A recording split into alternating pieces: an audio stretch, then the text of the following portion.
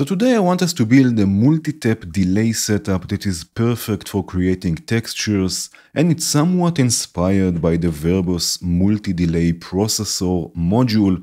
Also this technique I added to the tips and tricks PDF I keep on updating. If you're interested it's available on my Patreon together with the project file from this video and from other videos. And already you can see that we will use today the FX grid now, just like on the Verbos module, we will set up eight taps, right? We have here eight taps. So in the grid, we will use the long delay module. Now already this is a bit different than the Verbos module because here we can have it synced and later on you will see that we can create rhythms like this. But of course you can experiment um, with using this setup without syncing the delays. Now for now I will use or I will change this one to 1 16th note right? And I will connect the audio through it right? So the audio I have here the phase 4 synthesizer right? It will go through the FX grid. I'm just closing this so we have more space here. This also we don't need right? So now I connected the audio through it. And now if we have a look here again we have here a mix control that we can blend the this delay, right? So if I take this somewhere here, I can play, right? And we get a delay, right? Just like this. Now again, we want eight taps, so we need eight of these uh, delays. I will first disconnect the cables. If you know of a way um, to duplicate modules without the cables connected, let me know in the comments. But for now, I will have two, four, eight taps. So we have eight delays for the eight taps. And now instead of using a mixer, the mixer here has only six channels. We will basically use just eight audio modules, right? So two, then we have four, and then we have eight, right? One dedicated for each tap. And now let's start with the connections. So again, the audio will go in to the first delay or to the first step. Then this will go to the output. Also, all of the other taps will go to the respective outputs. And this will basically just sum the audio, right? It will just mix everything into one stream of audio. But now we will also cascade the delays, right? So the first delay will go to the second one, the second one to the third, and so on, right? And so forth. So each delay will be delayed by the time of the delay before it, right? Just like this. And now we have eight taps. So again, I can play this.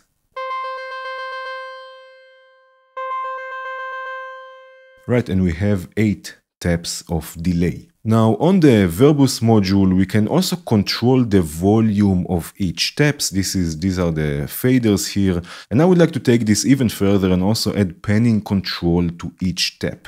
So in Bitwig, for each of the taps, I will add the mixer module, right? So we have level control and we have also panning. And I will just quickly add this for each of the taps.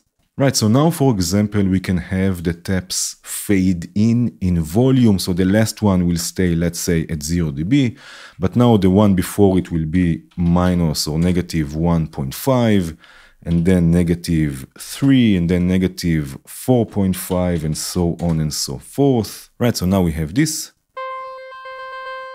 Right, we have the dry signal first and then the delays will uh, slowly fade in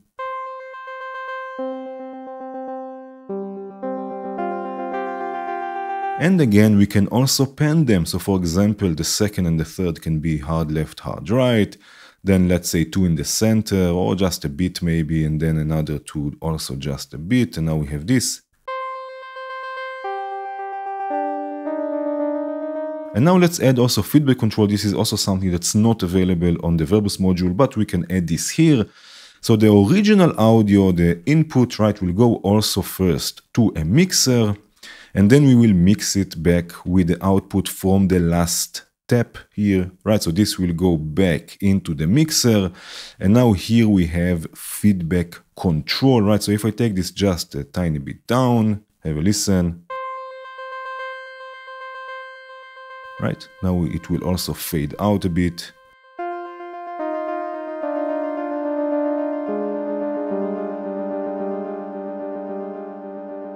Right, and now again, just like I mentioned before, we can also change the times here on the delays and get a sort of a rhythm.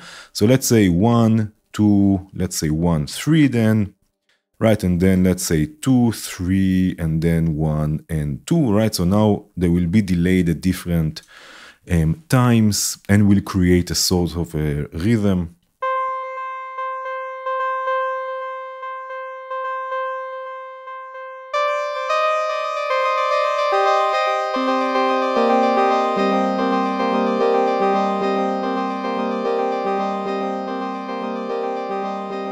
Right, and already we get a nice texture. I'm just playing this with the mouse, just a few notes and listen to everything what we get. Just imagine this with a more complex um, sound source or more complex uh, notes. Another thing we can do is we can process now also the feedback loop. So for example, just for fun, we can add a low pass filter here in the feedback loop. So every cycle it will be more and more uh, low passed.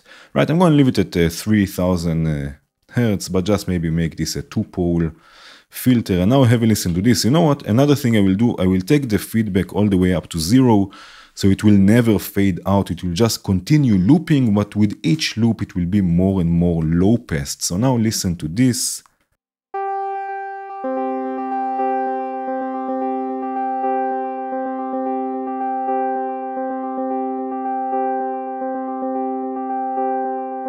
Right? It will become more and more darker with time.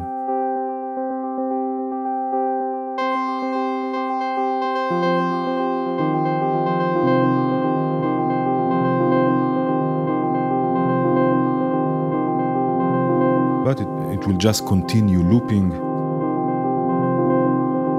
Right, so already we have a nice texture. Now on the Verbos module, there are also dedicated feedback paths with once a pitch shifter an octave up and once a reverb. So basically the the last step is going right to back feeding back into a pitch shifter or feeding back into a reverb. Now I couldn't find an easy way for adding pitch shifting and a reverb inside the patch itself inside the feedback loop there are ways, but they are way too complex. If you know of an easy way of using plugins inside the grid without splitting the stereo signal, modulating DC offset or anything like this, please let me know in the comments. But for now, I will just add these effects in the post effects here that we have here on the FX grid, right? We have post effects that I can add the pitch shifter, right? Take this an octave up, so it's 12 semitones. So now listen to this.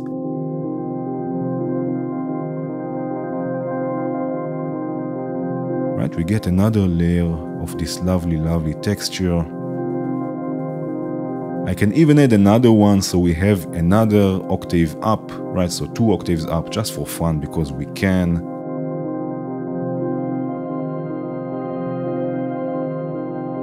Right listen to this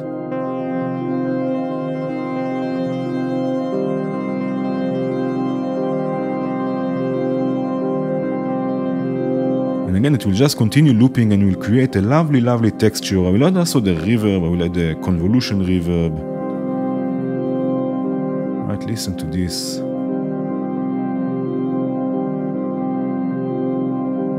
Right now again on the Verbos module there are also dedicated outputs, delay tap outputs for each of the taps. Right, so we can process things also individually. So for example, I can send one of the taps, right, let's say this one here, I can send it through a phaser, let's say. Right, 100% mix, maybe a bit stereo here, maybe a different one.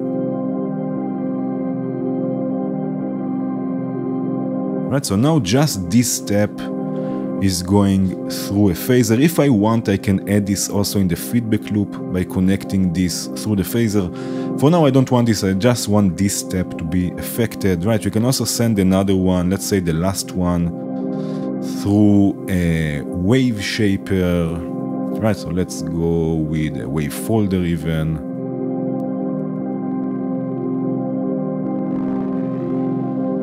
Right? It's just the last one, and don't forget the last one is getting all of the delays from before. or getting delayed by all of the delays from before, right? So that now just this one is going through a wave folder and just this one is going through a phaser. Right now, again on the Verbos, we have also dedicated envelope followers for each of the tap uh, of the taps, right? So we can also use this to modulate things. All what you have to do is use a follower, right the follower module and add this to the tabs that we want to have effect over other parameters. Right, so for example, I can use uh, this tab here and let's use another one.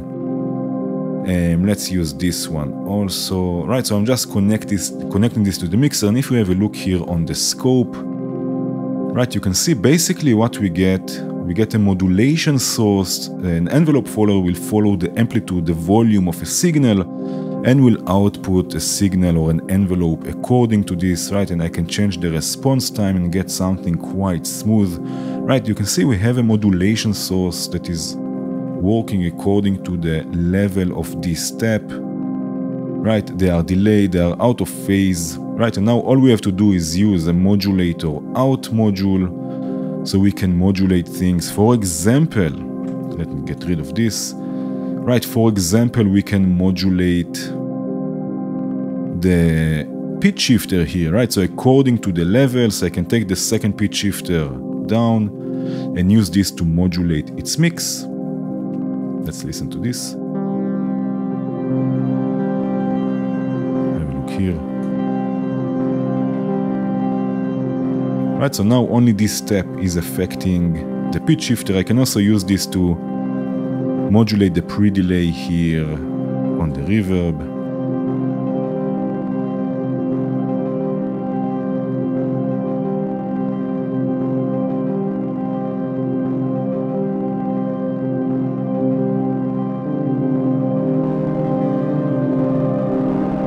Maybe a good idea would, uh, be to add here also a tool device before everything, just to take the gain a bit down. You can see it's quite high here with the feedback and everything, so just take this slightly down. Right something like this.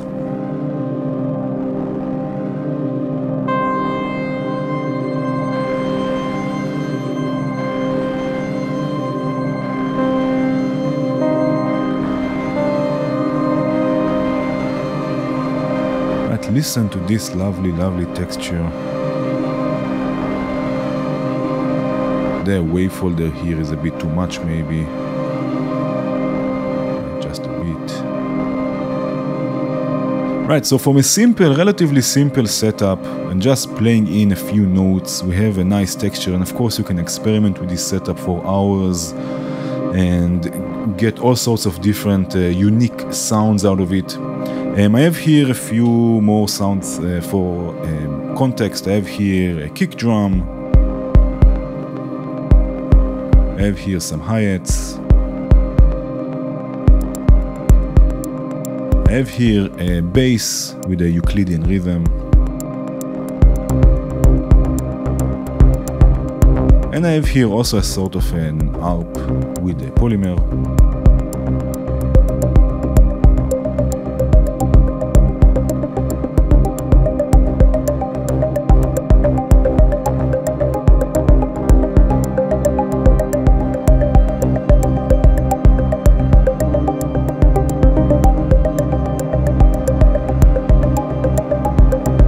Right, so again, it's a pretty simple setup. It's quite interesting. You can use it for creating all sorts of textures and unique sounds. And that's it. Again, consider joining us on Patreon. I hope you enjoyed this video. Cheers.